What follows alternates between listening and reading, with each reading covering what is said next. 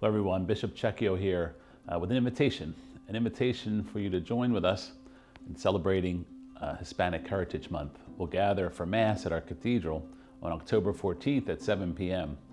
Uh, and it will wrap up the month's festivities.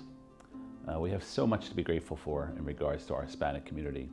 Uh, they've stepped up and done so much uh, for us over these past few years that I've been able to witness, and I'm so grateful to them, including all of these men who stepped up and responded to God's call to become permanent deacons, our, our first Latino class of deacons.